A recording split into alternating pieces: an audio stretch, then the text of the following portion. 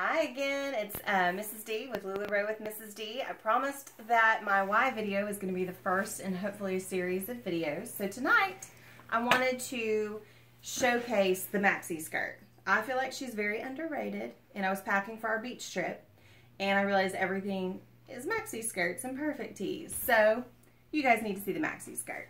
So this is a maxi. This is that new delicious material. It's modal. Modal feels a lot like silk, but it's a washable material and it um it's a it's just a more expensive fabric that LuLaRoe passes on to us. It's amazing. So um traditional maxi skirt. I've had a lot of customers ask me, well, I don't like classic tees. I have a C-section pooch. Well, guess what? I have a C-section pooch too. And this is a medium in a cotton knit. Normally I wear a large in a cotton knit, but this medium perfect tee matched it perfectly. Look at the neon pink and the neon pink. So I put it on. It's in inventory. You can buy it. But I wanted to show you guys how I do my side knot. So this is a perfect tee. And this maxi skirt is snug enough, got a piece of lint, that um, it actually is kind of cute. So I should go get a belt. You could put a belt on and then look, it's a peplum effect. So it kind of poofs out and then you have your really cool tulip skirt. A lot of people say the maxi skirt is a long version of Azure. That's not true. Azure is more of an A-line. Maxi skirt is very narrow through the hips and has a tulip bottom. It's an extremely flattering skirt. So you can wear it out with a little belt or this is what I do. My customers always ask. I yank it really aggressively to the side, come under here, and it, I'm doing a almost a waist knot, y'all. So look, it's kind of rough on a woman when we go straight across, right? That's our widest point. But if you do an angle, it's a slimming effect. It creates the, the eye to go up. And then look how cute and slimming. You still have your little peekaboo slit. Okay, so knot it and be aggressive. You can redo it. This fabric is wonderful stuff. When you wash it, guess what? It pops right back into place. So, let's see. It's like a hip knot. And I don't like tails, so I tuck them in. Real tight. And that's what it looks like. I don't have a mirror, but you might have to play with it. See what it looks like in the back, the side, front. Again, it's covering the pooch. And then the side. It's a really flattering look. This is how I wear my maxi skirt all the time. So I'm going to show you on Miss Maudie over here. This is an extra small maxi extra small perfect tee in that new delicious mock twist fabric that I love so much. Patrick and his minions are geniuses. All right, Miss Maud, let's cover up your nakedness. All right. So as you can see, she's got her little perfect tee on. Again, what's it caught on? Okay. We're going to do a real dramatic knot on Maud, just like I did. You can see it looks good on fluffy girls and skinny girls like Maud. And tuck the little tails in.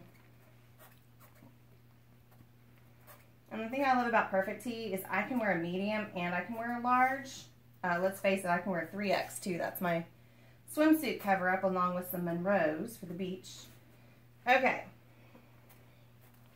So we've got that. And it's the same effect I have and it's a slim form. So here's the trick. This is a perfect tee and you have your angle. We could do this with a classic tee, but do straight across for those of you who don't have a C-section pooch and want it to be a little bit more up on your waist for a little bit different of a look. So this is a extra, extra small classic tee. Again, mock twist. I have a thing for the mock twist fabric. Okay, so you could wear it like this, belt it, you could do a knot in the back. Okay, ruche it up, do a knot in the back. This is how almost always I model Maud. She likes to wear knots on her waistline. It's just such a flattering look and it's casual. So there you go. And then you can pull it down to hide the yoga waistband. And it's just a really casual look. So this is adorable. Some cute little thong sandals.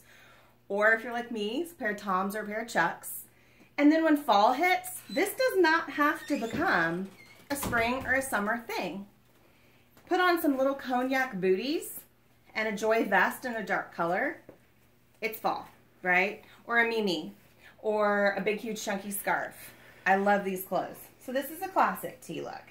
All right. So here's something else we can do. Sorry, Mon. Our maxi can become a maxi dress. She's super cute.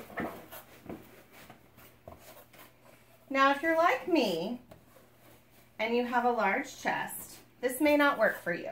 This seam goes right across here, but my hair lady and several of my clients pull this off beautifully in the summer and they look, it's such a fresh, clean look. I'm gonna show you how to accessorize the dress maxi in just a moment. But look how cute this is. Okay, you get, hold on, I pulled her dress down. Okay, you get a peekaboo out the top of your classic tee. This would work for perfect tee as well because a perfect tee is scooped. This would not work for an Irma because an Irma is the higher neckline, but this works beautifully for classic tee and perfect tee. Again, we could knot it, and look at what an adorable look that is. Now, the other thing we could do is we could get really, really aggressive with our knotting and do it all the way up here underneath the bust line. I do this with Carly a lot too, y'all. Look how adorable this is. Isn't this the cutest thing ever? I love it.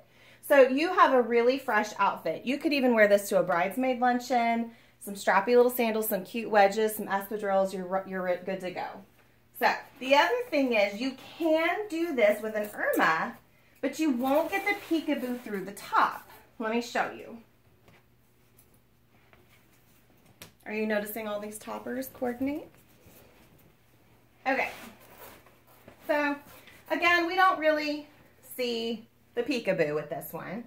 But again, we can knot it in the back, okay? I know a lot of people who will wear the Irma with a maxi skirt pulled all the way down, really oversized, um, with a belt and a slouchy look with some boots in the fall, and it's a gorgeous look. I have pictures of it up in my VIP group. So again, you can do the side knot, and look how cute it is when you have the blousey dolman. It's a more relaxed look. But then, of course, we can do this again. Really aggressive. And guys, like I said, don't be afraid to pull your fabrics. They will bounce back. I've been doing it for two years, I know. Okay, so then we have that. So this one, you could add a necklace or a really bold bib necklace to it, and it would be amazing.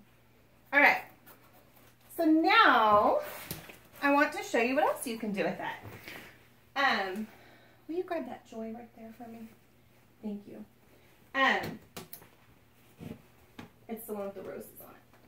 So we have this. I'm in love with this. It has sparkles. So this is coral and a more of a mink heathered look. So this is an oversized.